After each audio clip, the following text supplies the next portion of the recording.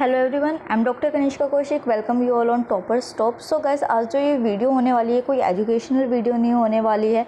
ये सिर्फ़ एक आई ओपनिंग वीडियो है कि जिसमें अगर आप ये समझ रहे हैं कि अगर कोई भी पर्सन है आपके आसपास जो कि गवर्नमेंट की गाइडलाइंस को नहीं मान रहा है, जिसकी वजह से अब ये बातें निकल के आ रही हैं कि लॉकडाउन को और आगे बढ़ाया जा सकता है। तो अब आप फिर गवर्नमेंट को ही इस चीज़ के लिए रिस्पॉन्सिबल समझेंगे कि यार लॉकडाउन को क्यों बढ़ा रहे हैं, ऐसे कैसे इकोनमी रिवाइव होगी?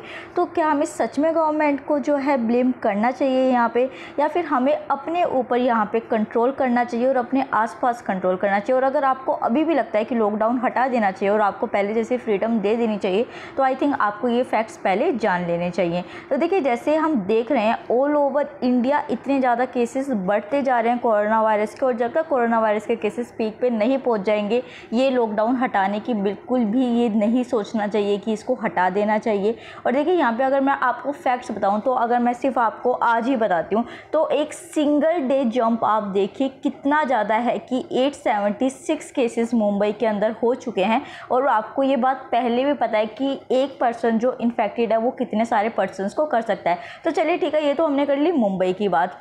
कि बहुत जो है पॉपुलेटेड एक प्लेस है जिसकी वजह से ऐसा हो रहा है। तो अगर हम एक डिस्ट्रिक्ट की बात करते हैं तो यहाँ पे आप प्रतापगढ़ और जो कौसम्बी के डिस्ट्रिक्ट को देखते हैं तो यहाँ पे फोर कोरोना केसेस आ चुके हैं। तो देखिए, ये जो फोर कोरोना केसेस है, एक चीज़ आप ये देखिए कि ये ट्रांसमिशन कितना ज़्यादा हो रहा है।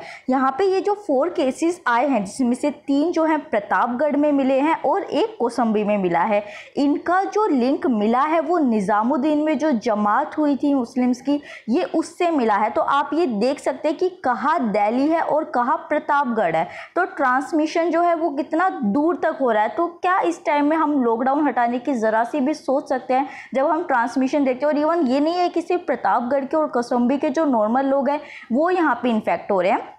इवन जो कोसम्बी के डिस्ट्रिक्ट मजिस्ट्रेट हैं, जो कि हरियाणा के थे और उन्होंने कोसम्बी में वो गए हैं, वो भी यहाँ पे पॉजिटिव पाए गए हैं। तो ऐसे प्रतापगढ़ और कोसम्बी जैसे छोटे डिस्ट्रिक्ट्स में भी जब ऐसी रिपोर्ट्स आ सकती हैं तो हम वहाँ पे फिर जम्मू एंड कश्मीर में देखते हैं, जहाँ पे 24 न्यू कोविड 19 के केसेस आ चुके हैं। जम्मू एंड कश्मीर की सिचुएशन हम सबको अभी पता है कि एक साल से जब से आर्टिकल थ्री सेवेंटी वहाँ पर हटा है, वहाँ पर किस तरीके की कर्फ्यू लाइक सिचुएशन है।